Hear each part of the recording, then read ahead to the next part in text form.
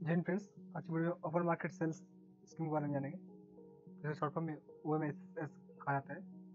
देखिए न्यूज़ में कितना देखिए the Indian government no longer sell rice and wheat to the state government under open market sales scheme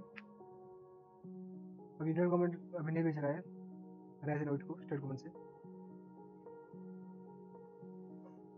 About O M S S क्या देखिए? Under O M S S the F C I food corporation of India, sells the surplus stock of wheat जो डाला जाता है surplus मतलब and rice in the open market area at predetermined price through the e auction auction करके बेचता है इसको।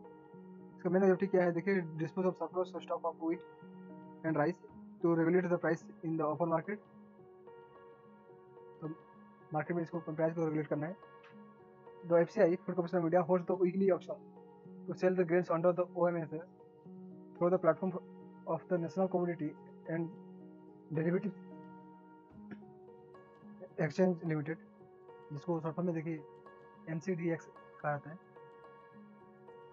Food corporation India बारे में जान लेते हैं। It's a government body establish in 1965 तो उन्नीस सौ पैंसठ में इसको स्टैब्लिश किया गया था। Under the food corporation act 1964 to manage the food security and system in India food security को मैनेज करने के लिए इसको दिया गया था।